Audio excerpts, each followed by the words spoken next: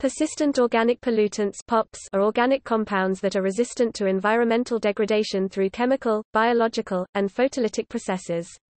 Because of their persistence, POPs bioaccumulate with potential adverse impacts on human health and the environment. The effect of POPs on human and environmental health was discussed, with intention to eliminate or severely restrict their production, by the international community at the Stockholm Convention on Persistent Organic Pollutants in 2001.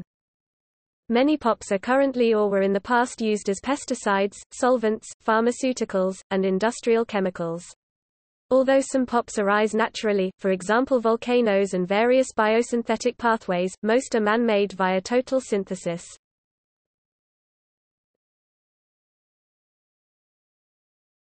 Topic: Consequences of persistence. POPs typically are halogenated organic compounds see lists below and as such exhibit high lipid solubility. For this reason, they bioaccumulate in fatty tissues. Halogenated compounds also exhibit great stability reflecting the non-reactivity of CCl bonds toward hydrolysis and photolytic degradation.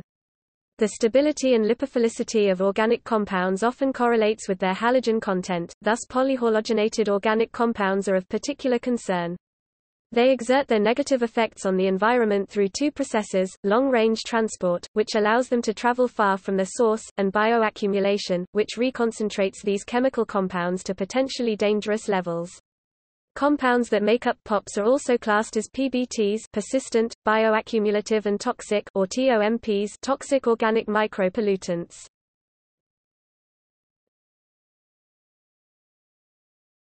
Topic: Long-range transport POPs enter the gas phase under certain environmental temperatures and volatilize from soils, vegetation, and bodies of water into the atmosphere, resisting breakdown reactions in the air, to travel long distances before being redeposited. This results in accumulation of POPs in areas far from where they were used or emitted, specifically environments where POPs have never been introduced such as Antarctica, and the Arctic Circle. POPs can be present as vapors in the atmosphere or bound to the surface of solid particles. POPs have low solubility in water but are easily captured by solid particles, and are soluble in organic fluids oils, fats, and liquid fuels. POPs are not easily degraded in the environment due to their stability and low decomposition rates. Due to this capacity for long-range transport, POP environmental contamination is extensive, even in areas where POPs have never been used, and will remain in these environments years after restrictions implemented due to their resistance to degradation.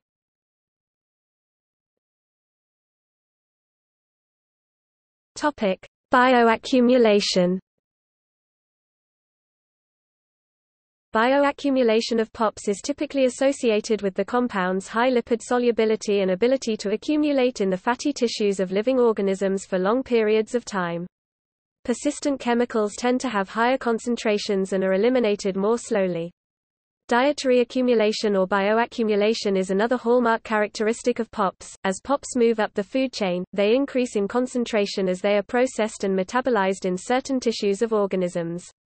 The natural capacity for animals' gastrointestinal tract concentrate ingested chemicals, along with poorly metabolized and hydrophobic nature of POPs makes such compounds highly susceptible to bioaccumulation.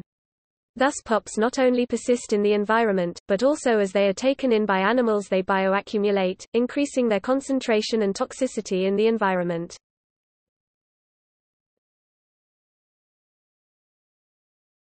Topic: Stockholm Convention on Persistent Organic Pollutants The Stockholm Convention was adopted and put into practice by the United Nations Environment Programme (UNEP) on May 22, 2001. The UNEP decided that POP regulation needed to be addressed globally for the future. The purpose statement of the agreement is to protect human health and the environment from persistent organic pollutants.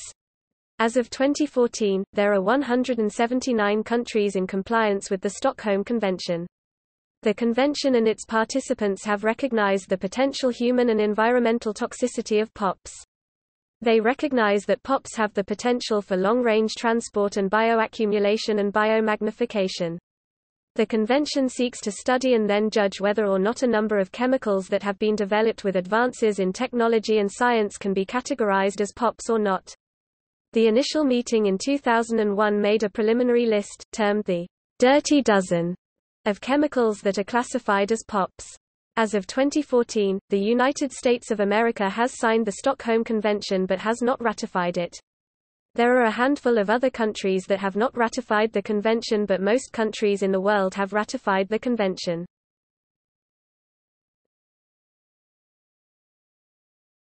Topic: Compounds on the Stockholm Convention list.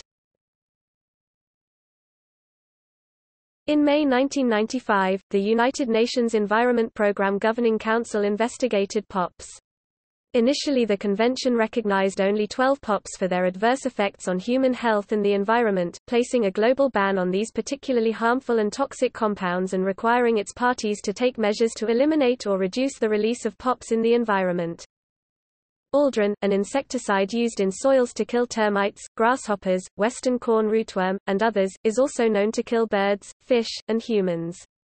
Humans are primarily exposed to aldrin through dairy products and animal meats. Chlordane, an insecticide used to control termites and on a range of agricultural crops, is known to be lethal in various species of birds, including mallard ducks, bobwhite quail, and pink shrimp. It is a chemical that remains in the soil with a reported half-life of one year. Chlordane has been postulated to affect the human immune system and is classified as a possible human carcinogen. Chlordane air pollution is believed the primary route of humane exposure. Dieldrin, a pesticide used to control termites, textile pests, insect-borne diseases and insects living in agricultural soils. In soil and insects, aldrin can be oxidized, resulting in rapid conversion to dieldrin. Dieldrin's half-life is approximately 5 years. Dieldrin is highly toxic to fish and other aquatic animals, particularly frogs, whose embryos can develop spinal deformities after exposure to low levels. Dieldrin has been linked to Parkinson's disease, breast cancer, and classified as immunotoxic, neurotoxic, with endocrine disrupting capacity. Dieldrin residues have been found in air, water, soil, fish, birds, and mammals. Human exposure to dieldrin primarily derives from food. Endrin, an insecticide sprayed on the leaves of crops, and used to control rodents. Animals can metabolize endrin, so fatty tissue accumulation is not an issue, however the chemical has a long half-life in soil for up to 12 years. Endrin is highly toxic to aquatic animals and humans as a neurotoxin. Human exposure results primarily through food. Heptachlor, a pesticide primarily used to kill soil insects and termites, along with cotton insects, grasshoppers, other crop pests, and malaria-carrying mosquitoes. Heptachlor, even at every low doses has been associated with the decline of several wild bird populations, Canada geese and American kestrels. In laboratory tests have shown high-dose heptachlor as lethal, with adverse behavioral changes and reduced reproductive success at low doses, and is classified as a possible human carcinogen. Human exposure primarily results from food.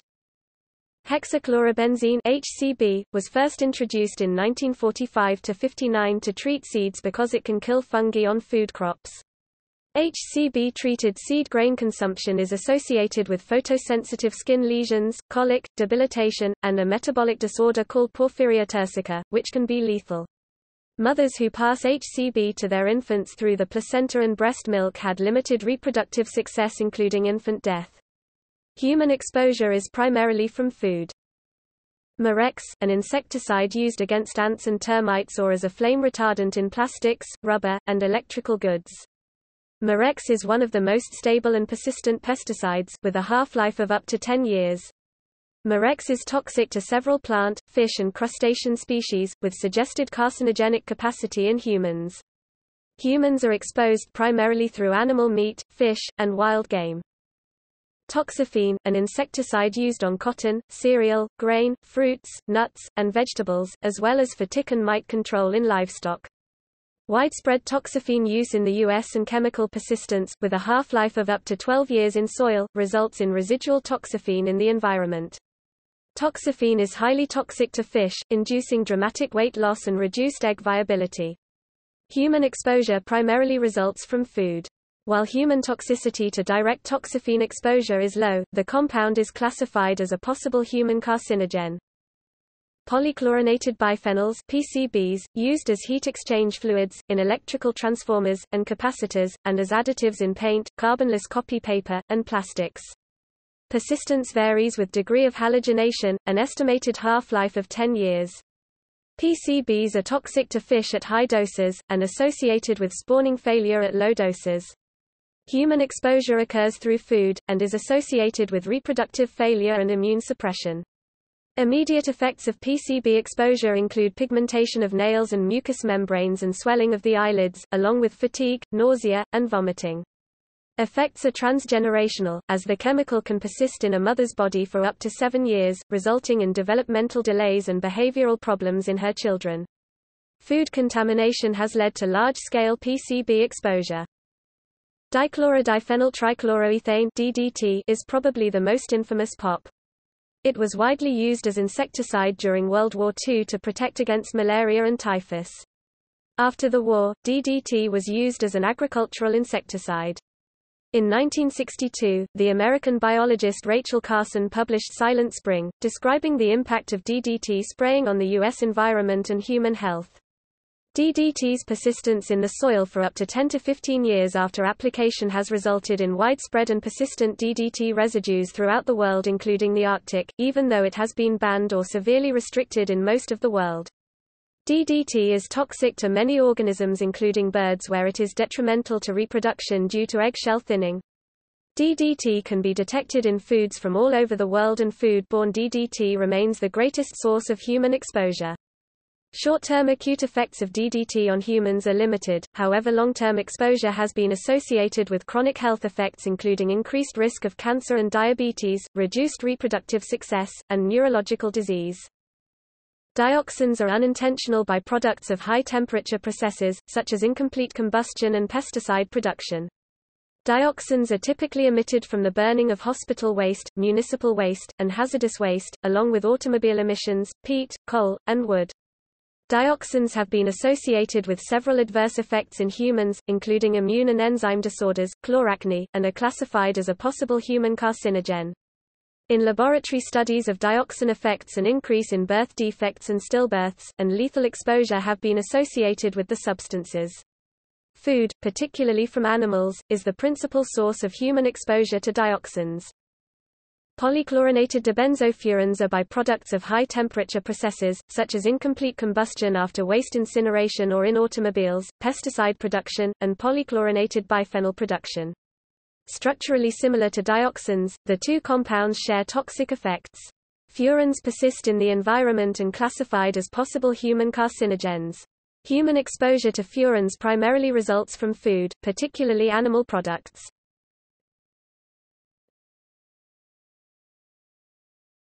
Topic: New POPs on the Stockholm Convention list.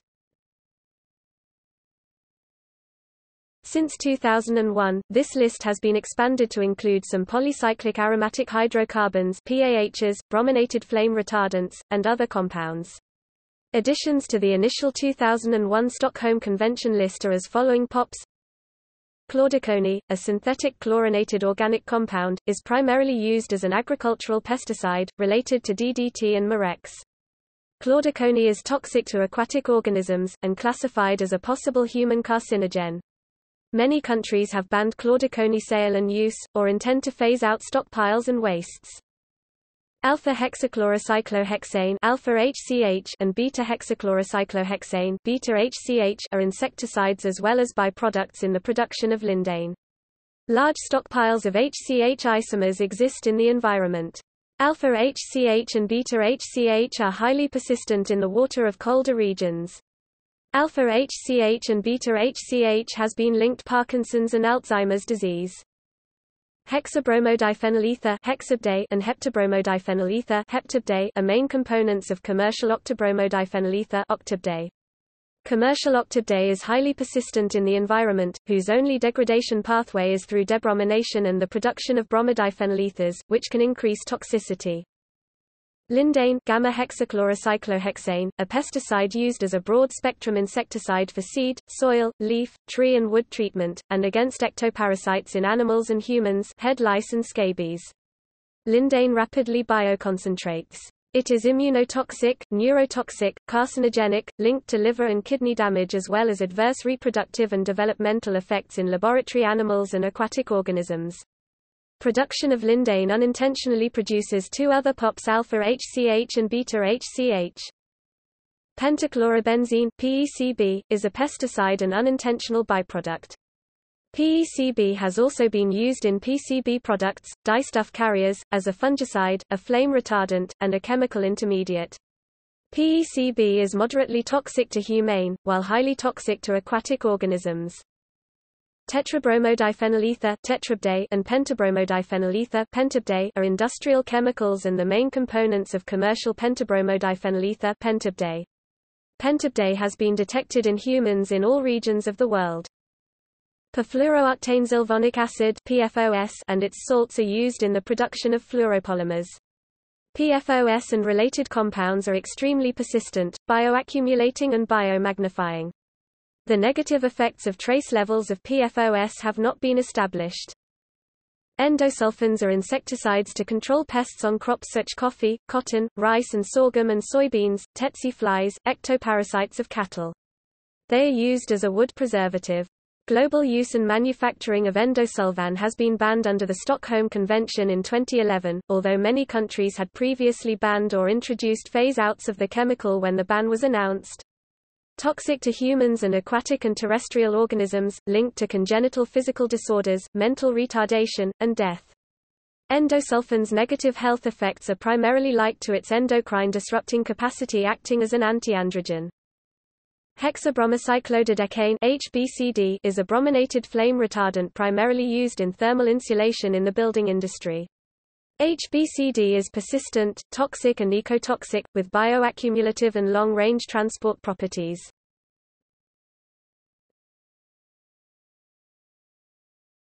Topic: Health effects. POP exposure may cause developmental defects, chronic illnesses, and death. Some are carcinogens per IARC, possibly including breast cancer. Many POPs are capable of endocrine disruption within the reproductive system, the central nervous system, or the immune system. People and animals are exposed to POPs mostly through their diet, occupationally, or while growing in the womb. For humans not exposed to POPs through accidental or occupational means, over 90% of exposure comes from animal product foods due to bioaccumulation in fat tissues and bioaccumulate through the food chain. In general, POP serum levels increase with age and tend to be higher in females than males. Studies have investigated the correlation between low level exposure of POPs and various diseases. In order to assess disease risk due to POPs in a particular location, government agencies may produce a human health risk assessment which takes into account the pollutants' bioavailability and their dose-response relationships.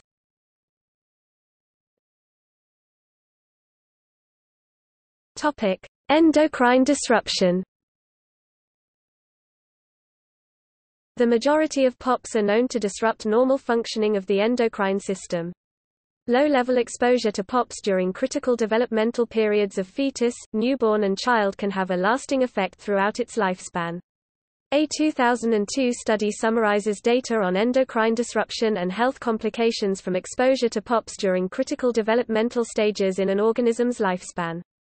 The study aimed to answer the question whether or not chronic, low-level exposure to POPs can have a health impact on the endocrine system and development of organisms from different species. The study found that exposure of POPs during a critical developmental time frame can produce a permanent changes in the organism's path of development. Exposure of POPs during non-critical developmental time frames may not lead to detectable diseases and health complications later in their life. In wildlife, the critical development time frames are in utero, in ovo, and during reproductive periods. In humans, the critical development timeframe is during fetal development. Topic: Reproductive system. The same study in 2002 with evidence of a link from POPs to endocrine disruption also linked low-dose exposure of POPs to reproductive health effects. The study stated that POP exposure can lead to negative health effects especially in the male reproductive system, such as decreased sperm quality and quantity, altered sex ratio and early puberty onset. For females exposed to POPs, altered reproductive tissues and pregnancy outcomes as well as endometriosis have been reported.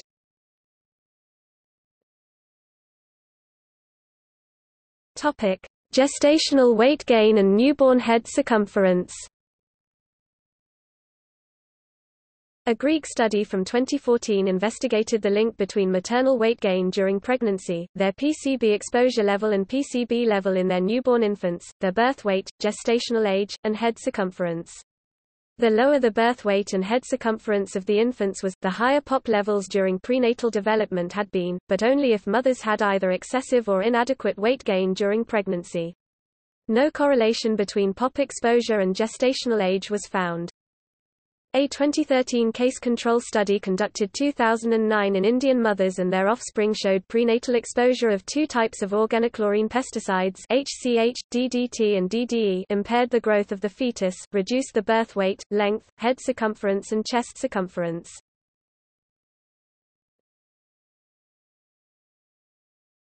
Topic: Additive and synergistic effects.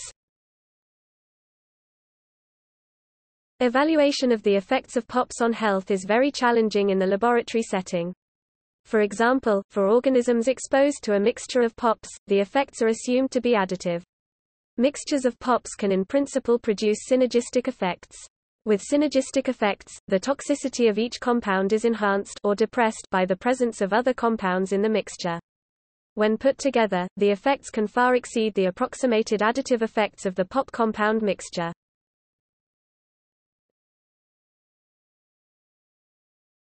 Topic: In urban areas and indoor environments. Traditionally it was thought that human exposure to POPs occurred primarily through food, however indoor pollution patterns that characterize certain POPs have challenged this notion. Recent studies of indoor dust and air have implicated indoor environments as a major sources for human exposure via inhalation and ingestion. Furthermore, significant indoor pop pollution must be a major route of human pop exposure, considering the modern trend in spending larger proportions of life indoor. Several studies have shown that indoor air and dust pop levels to exceed outdoor air and soil pop concentrations.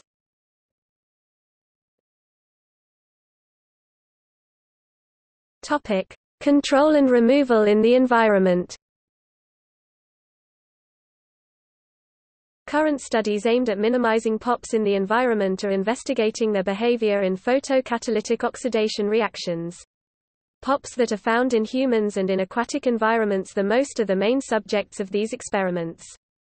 Aromatic and aliphatic degradation products have been identified in these reactions. Photochemical degradation is negligible compared to photocatalytic degradation. A method of removal of POPs from marine environments that has been explored is adsorption. It occurs when an absorbable solute comes into contact with a solid with a porous surface structure. This technique was investigated by Mohammad Naguib Rashed of Aswan University, Egypt.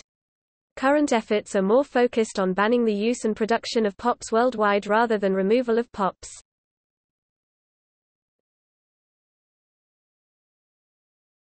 Topic. See also Aarhus Protocol on Persistent Organic Pollutants. Center for International Environmental Law CIEL. International POPs Elimination Network IPEN Silent Spring. Environmental Persistent Pharmaceutical Pollutant EPPP Polychlorinated biphenyl PCB Persistent, bioaccumulative and toxic substances PBT Endocrine disruptors. Triclocarban Triclosan perfluorooctanoic acid